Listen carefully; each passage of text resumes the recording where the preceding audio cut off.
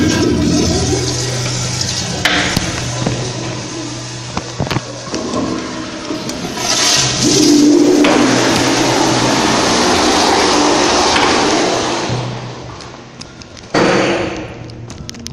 that was a close one.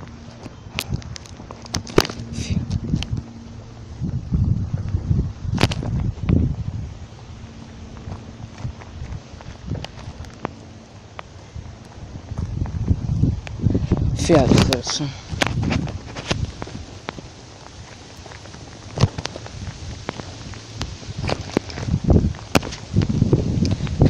Bye guys. Let's do this.